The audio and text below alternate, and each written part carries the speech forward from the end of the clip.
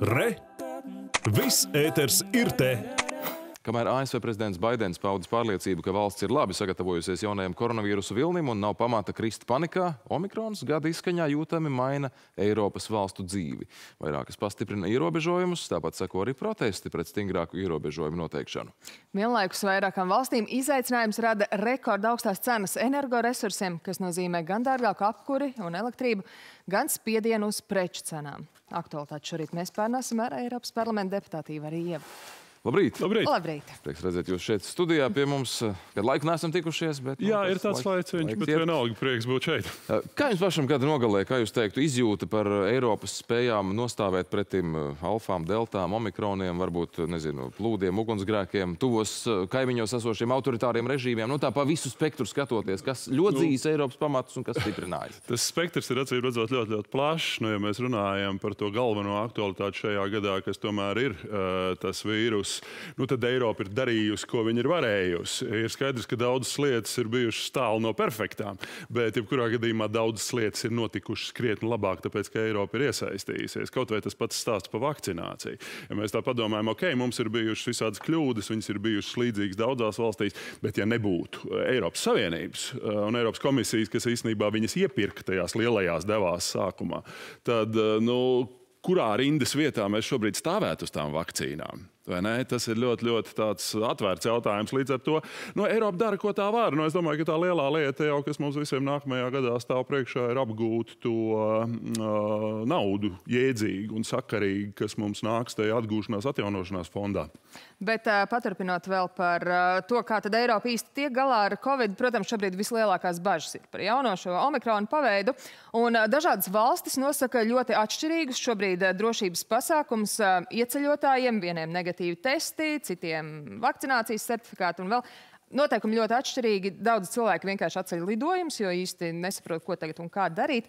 Uh, Vai šī nav tāda problēma, ka Eiropā nav vienota pieeja? Pie? Nu, tad nosakām visiem testēšanu. Nu, piemēram. problēma ir tajā, ka Eiropā nav viena vienota veselības aprūpe, vai ne? Un tos slimos cilvēkus jau nākās ārstēt pašām dalību valstīm. un Tieši tādēļ jau skaidrs, ka ierobežojuma ieviešana būs un paliks primāri pašu dalību valstu kompetence, bet jūsu pieminētais certifikāts, tas jau ir patiesībā viens tipisks Eiropas Savienības produkts, kas tomēr padara iespējamu mums pārvietošanos Vismaz tajos mirkļos, kad uh, nu, tie ierobežojumi nav tik lieli.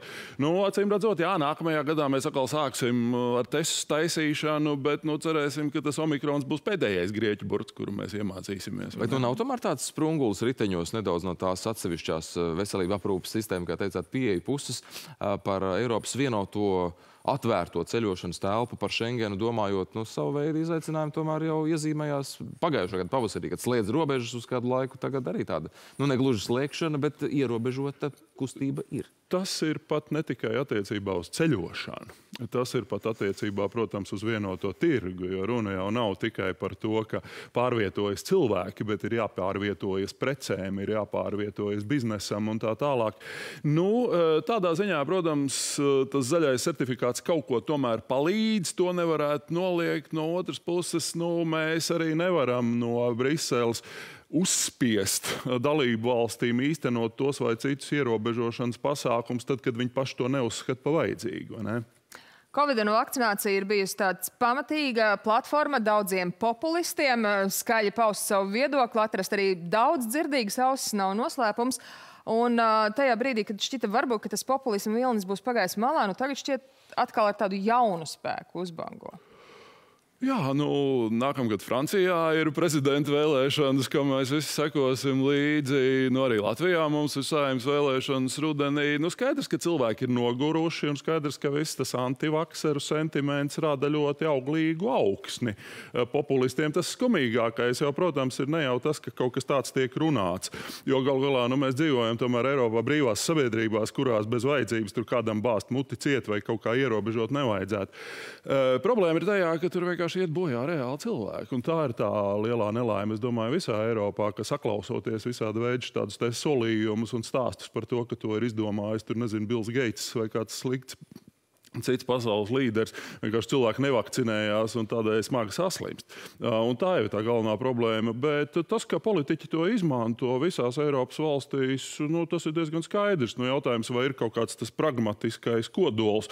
Un šogad vismaz vēlēšanās, kas notika Eiropā, mēs redzējām to, ka, nu, piemēram, Vācijā, ka nu, tomēr lielākā daļa sabiedrības to situāciju uztver gan realistiski un gan nopietni. Bet, nu, raugoties no tāda politologa perspektīvas, kā jūs teikt, cik tas eso, esošais establishments ir bijis veiksmīgs tajā savā komunikācijā?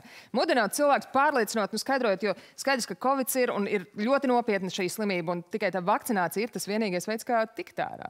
Um, nu, maigi izsakoties, ir bijušas kļūmes un problēmas, piekam daudzās valstīs, un skaidrs, ka nu, viena no tām lietām, ko itin bieži politiķi ir izvēlējušies, ir tas, ka stāstījuši cilvēkiem no tādas ļoti lielas autoritātes pozīcijas, ļoti nesaprotami, bet ļoti, ļoti tā, nu, augstprātīgi par to, kas ir jādara. Skaidrs, ka tas nav tas īstais veids, kā komunicēt ar sabiedrību, ka tev ir vienkārši jāpastāsta elementāri, kas var notikt, tā lai cilvēki arī saprot, kas viņiem ir jādara. Jo tur jau tas jau nav tikai par to, vai vakcinēties vai nevakcinēties. Tas ir jautājums, kad vakcinēties, kā vakcinēties, vai kas ir ar trešo vakcīnu šobrīd un tā tālāk. Pie Šīs viss ir jānokomunicē ļoti.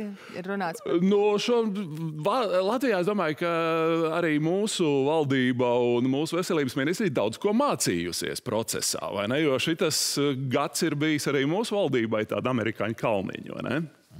Ja skatāmies uz to segmentēto, tipizēto pasaules uztveri, ko varbūt veicina sociālo mediju burbuļi, kuros cilvēki bieži vien dzīvo, un, ja tu nonāc savā burbulī, kurā, kā minējāt, ir tas antivakser gēns, nu, tad tur diezgan grūti kaut ko citu uzzināt. Un saistībā to ar populismu arī saliekot, vai ir tomēr tādi nu, riski, ka mēs nu, tās atsevišķās pozīcijas, tuvināšanas iespējas tūmā vēl tā īsti sev neredzam, ka cilvēki nonāks, nu jau tagad ir nonākuši atsevišķās grāvju malās un skatās viens uz otru pāri kaut kam neparedzamam. Nu, atgriežoties pie Eiropas politikas, eh, tas ir viens mūsu šī gada darbs bijis un būs darbs arī nākamajā gadā. Teiksim tā, ierobežot to potenciālu, kā ar dažādiem polarizējošiem viedokļiem sociālo mēdīju platformas drīkst tos burbuļus veidot. Tajā nozīmē algoritmu kaut kādu. Algoritmu, ja mēs paskatāmies, nu, Cik tas ir veiksmīgi, cik nē, bet mēs ejam tajā virzienā, ka, piemēram, arī Facebook un uh, citas sociālo tīklu platformas piedāvā, tomēr, tad, kad ir runa par kaut kādu sazvērestības teoriju attiecībā uz Covid, piedāvā blakus norādu uz to, ka, ja jūs tiešām šī tēma interesē, tad lūdzu paskatieties daudz maz uzticamus avotus. Un šajā virzienā jau tiek arī iets, proti, ielikt tos sociālos tīklus kaut kādos rāmjos, lai viņi nevarētu uz to viedokļu polarizāciju gluži vienkārši pelnīt lielu naudu, ko viņi diemžēl līdz šim ir darījuši. Nu, tā kā šķistu nepietiktu ar ļoti nopietnu slimību, vēl arī enerģētikas uh, problēmas. Uh, visu Eiropu ir piemeklējuši cenas šaujas debesīs. Daudz saka, Eiropa sev iešaus kājā ar zaļo kursu, nepārdomāt sākot to ieviest, īstenot dažādas iniciatīvas, un ka tas ir arī viens no tiem iemesliem, kāpēc tomēr šobrīd mēs piedzīvojam šīs augstās cenas. Arī, bet noteikti ne pirmais un galvenais. Jo, ja mēs paskatāmies uz to, cik to enerģiju nākotnē, jo zaļais kurs tā reāli sāk strādāt no 25. un 26. gada, šobrīd ir 21. beigas. Uh, tur ir citi faktori. Viens ir, protams, tas, ka pasaules ekonomika atgūstās. Otrām kārtām es domāju, ka mums ir pamats domāt par vienu ļaunprātīgu cenu manipulēšanu no lielajām piegādātāju valstīm mūsu reģionā, primāri Krievijas un dabasgāzes. Līdz ar to tas zaļais kurs kaut kāda daļa tajā ir, bet tas noteikti nav galvenais, kas tagad ir uzrāvis gaisā tās cenas, kuras mēs visi maksāsim šogad tajā ziemā, jo tā ziema, diemžēl, pa nelēmu arī izrādās diezgan augsta. Nu, un kas būs nākamgad, to mēs visi piedzīvosim nākamgad. Droši vien, tā arī Tieši jā. tā. Nu, cerēsim uz to labāko. Pie tā arī paliksim šobrīd. Paldies, ka atnācāt. Paldies un laimīgi jauno gadu. Paldies, laimīgi. laimīgi. Ivars Ieps, Eiropas parlamenta deputāts un attīstībai par. Un šobrīd